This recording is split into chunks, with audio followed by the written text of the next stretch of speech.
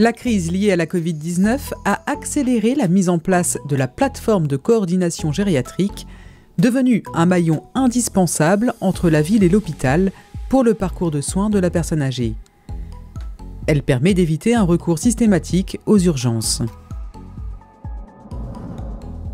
Le CHU de Rouen organise avec la CCI Rouen Métropole son premier webinaire interactif avec les acteurs économiques du territoire afin de partager son expertise en hygiène et contribuer ainsi à une reprise économique sereine. 170 entreprises et clubs d'entrepreneurs se connectent, en plus des quelques participants à l'amphithéâtre Lequin.